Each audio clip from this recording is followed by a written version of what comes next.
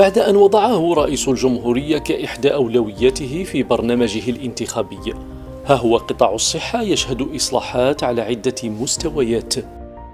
فجاء استحداث خارطة صحية جديدة تهدف لتحسين الخدمات الطبية على مستوى جميع المستشفيات مع تشييد مراكز استشفاء جديدة ومتخصصة. كل هذا لضمان تغطية صحية شاملة للمواطن الجزائري.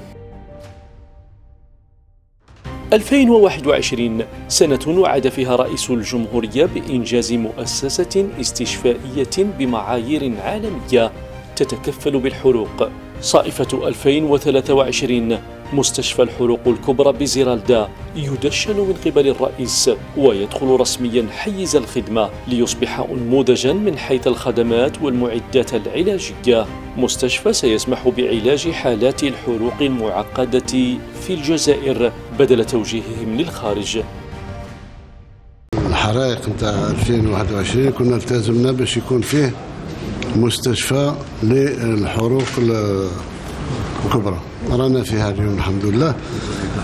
ماذا بيا؟ يعني نشتغلوا بكيفية اللي تخلينا ما نخلي حتى جزائري يروح. أنا نجيب طبيب يعالجه هنا. تطور الهياكل الصحية يأتي لتوفير أحسن الخدمات وتسهيلها. فالمستشفى العسكري الجديد الأم والطفل بابن مسوس لبنة أخرى تضاف إلى سلسلة المنشآت الصحية العسكرية. منشأة تضم العديد من المصالح على غرار مصلحة أمراض الدم وسرطان الأطفال.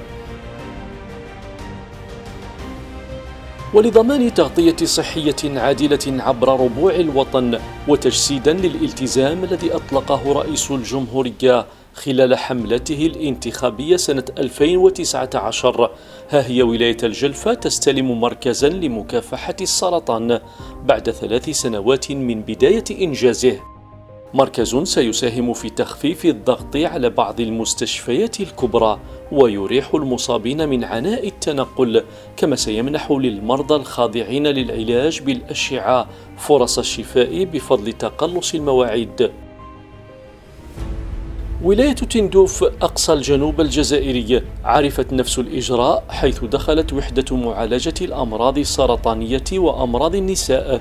حيز الخدمة تنفيذا لتعليمات الرئيس بعد زيارته للولاية. مستشفى عصري مجهز. أنا الشيء اللي نلتزم به معكم. هذا القرار مجرد ما ندخلوا العاصمة قرار هذا يجي هنا وزير الصحة ويزور ويعطيكم موعد قصير لنجهز فيه للمستشفى هذا. الحديث عن مكافحة السرطان خلال سنة 2023 يجرنا حتما للتنويه بمبادرة رئيس الجمهورية لمكافحة السرطان بعد التزامه بحماية صحة المواطنين وترقيتها. مبادرة ترتكز على الوقاية والتشخيص المبكر للمرض ومكافحة عوامل الخطر مع تشجيع وتطوير البحث العلمي وتوجيه الاستثمارات الكهرنووية للاستعمال الطبي. ولدعم المبادرة بالموارد المالية اللازمة فقد تم تخصيص 70 مليار دينار جزائري كمرحلة أولى مع تعيين البروفيسور والمختص في علم الأورام عد بنجاح على رأس المبادرة. سنة 2023 شهدت كذلك التوقيع على اتفاقية الشروع في إنجاز المستشفى الجزائري القطري الألماني والذي يعد من أبرز المشاريع الصحية الواعدة التي أطلقها رئيس الجمهورية والمتوقع استلامه سنة 2025 بسيدي عبد الله. وعلاوة على اهتمام الرئيس بتجديد هياكل قطاع الصحة فقد حرص على ضرورة تقريب الصحة من المواطن ما يترجم إعادة الاهتمام بتحديث مؤسسات الصحة الجوارية وإدراج العديد من الاختصاصات الطبية التي كانت تفتقر لها في السابق للمساهمة في تخفيف الضغط على المستشفيات الكبرى.